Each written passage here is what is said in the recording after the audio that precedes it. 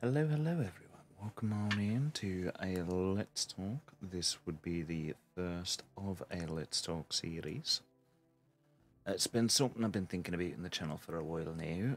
As far as Discord and everything, we've kind of had communications on Let's Talks and whether or not, you know, finding subject matter that I would talk about and things. So I decided instead of procrastinating for once, uh, we would start on a subject that I very much find easier to talk about because that way I don't have to, you know, try and um, find the word so much. So I figured we'd start with roleplay. And as people can hear who have not probably been uh, part of the channel or things like that, yes, roleplay is a lot of voices and things and voice acting type stuff mixed in with gaming for a what is roleplay. It's kind of like acting, but then the actors uh, more so just are improv. So when it comes to things like Red Dead Redemption, like uh, as we have a lot of pictures of for a slideshow, Red Dead Redemption happens to be the one that I started roleplay on. So we started in Red Dead a couple of years ago now. And what happened is we evolved a lot. Like, this is some of the early progression sort of screenshots. Cassius Evans was my first ever roleplay character. It was our first experience of getting our feet wet in roleplay. We met a lot of people and did a lot of interesting stuff. I was very nervous with the experience to begin with because I didn't know what to expect going into roleplay. Like, um, I knew the precipice of what it was, but actually getting involved in it is a different story because, like, I can do voices and things. I've done voices a lot, like, in my spare time. But actually applying them to characters wasn't the most natural thing it took me a bit to gain the confidence to be in those places that you see Cass now and be in like random situations like that because like I am very much an introvert by nature. It can be easily kind of read. and we're kind of flying off the cuff. I don't have no like script or anything, so we will bounce around a lot and you'll have to forgive me. but yeah, there was a lot of good memories and things. And whether role play takes place in servers like Red M, FiveM, or uh, Ark or Conan, like I know there are so many different games that can produce and make role play communities. Um, I think there are a lot of key elements that remain the same in a lot of the roleplay communities. Which is like central locations will usually be um, the most frequented. Or like a situation where it's all or nothing sort of thing. Like everyone will go to a particular place because everyone goes to a particular place. Like uh, in Red Dead, it would become a thing like if everyone went to Rhodes, everyone goes to Rhodes because everyone goes to Rhodes. so it becomes one of those situations a lot in roleplay that a lot of people will be about certain areas because everyone's about those areas. Like once those become known spots, they just become something that people will flock to. Unless somebody can like create a situation where a particular town is more popular like sometimes it, all it takes is a spark. Like um, we at one point made Blackwater very popular at our time zone sort of thing because a lot of us would go to Blackwater, uh, which is a part of the RedM sort of stuff. and I don't know what else there is, like, you know my brain's just gone blank because my dog just put his head on my lap and I was just like thinking about something else. But when it comes down to it, like roleplay has captured me from like other gaming so well because of the fact like the story is always changing like the players make the stories and the stories like create the world that you uh, take part in and the better like environment they can produce by you know the sparks of like what's going on around you in like the environment and the world and the community it can keep you going or it can burn you out. Like those are some factors. And like communities honestly like matter a lot to how you can like role play these things and like whether or not you know you enjoy it or um, hate it because if the community doesn't mesh well for you, like you're not feeling like you're part of it, you aren't gonna have a good time. and it can be very difficult to find like the right places. And every server, like there are so many different servers, and they like there are popular servers, and they're the ones you know people will go to and become part of, and things like that. But then once you kind of like get over like the glamour and stuff, you kind of realize like, you know, it's not always like the most popular ones are not always going to be the best ones for you personally.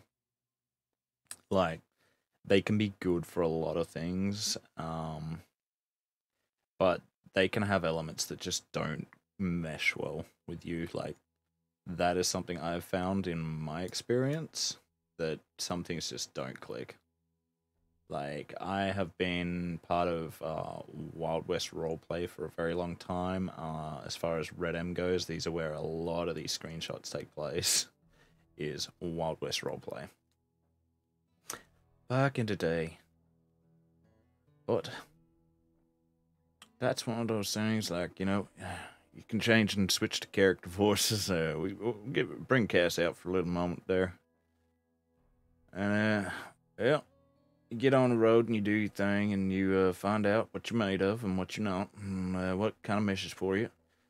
And you can make all sorts of interesting characters uh, being part of the world, like, you know. Uh, Cassius Evans uh, was very much going to be a character that uh, could have gone either way. He could have become an outlaw, he could have become a bad guy, could have become a good guy, could have become a neutral. Uh, I played him very open. And eventually, uh, he actually ended up becoming a deputy, which is uh, the surprising path because uh, his backstory never really called for it. Uh, his parents were uh, on the run from the law, Pinkertons and such, and uh, it was a life he basically knew. was like, you know, Gypsy just was like running from place to place, not really sure why everyone just would never settle down, and that's just kind of his life and things. And all these people that you see make that possible to be part of and like bring that story to life. So many people, so many faces that make stories come to life. And that there is the amazing thing right there as Michael O'Connor comes to the screen. And that was my Irish character. I couldn't have timed that better myself. And Michael, on the other hand, he uh, had a father who was a bit of trouble and uh, took some things that didn't, you know, belong to him in the scheme of things. They were family heirlooms. So Michael came uh, with his brother, John O'Connor, and they uh, started looking around the lands and they found their pa and took care of, you know, business and made sure that they got the things back home that they needed to get back home. But that was a story that was evolving throughout that whole time. And, you know, Cassius faded away and came back into uh, stories as we uh, see. Michael became more prominent for a while there, but the problem was like, as I said, you get yourself into some stories sometimes that just don't work for you. I've said it before, like you know, it's got to work for you and your characters and stuff, and like it just didn't feel like him. So Michael ended up disappearing, and then we ended up back at Cass. And we also had, well, Mr. Terrell, Terrell Langston. That is the thing about uh, voice acting, you see. Well, um, you kind of change things very much and very often. Voices uh, frequently uh, pop in out of your head, and you uh, find ways of the uh, pronunciations that the characters uh, will uh, have as to uh, how they talk and their mannerisms and such. Hmm, yes. Uh, Uh, that's just the little things. I was gonna kind of make this an open-ended topic because I want to make it like a discussion video. But what do people think? Like, is roleplay all or nothing kind of thing? Like, you either have everyone, like you have a server that's all, or you have a server that's nothing. Do you think like you know? Because I think it's a big problem. Like when a server has like no people or no population, it becomes that story again. To go back to another point that I've, as I said, I would jump around these things with this video. But to go back to the point, everyone goes where everyone goes because everyone goes to that place. So, like with roleplay, I find that that can be a really big thing that everyone will go to a particular thing because everyone does. And that's where it ends up very interesting.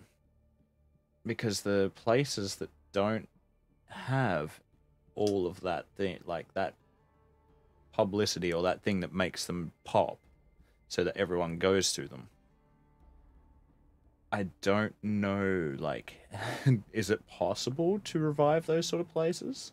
Like, once people have stopped, because, like, it's a case for me at least in roleplay. Like, I don't want to jump onto a server that has nobody on it.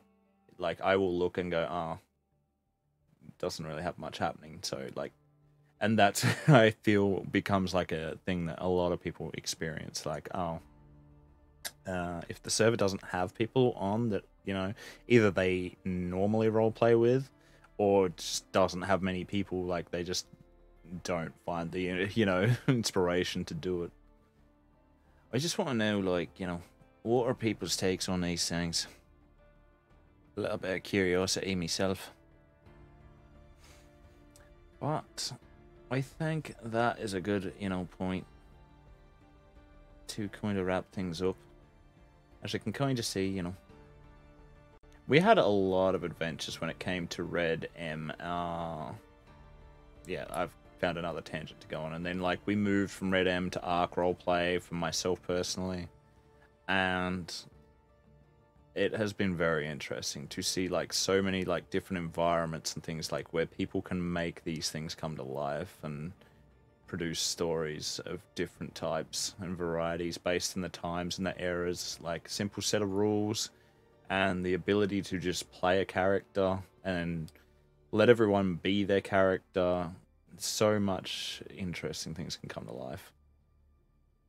What are other people's takes on roleplay? Is it your cup of tea? Is it not your cup of tea? Would you like to try it?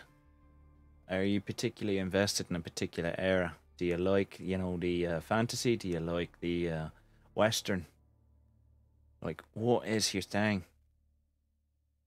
Let's have a chat about it in the comment section if you are uh, keen to.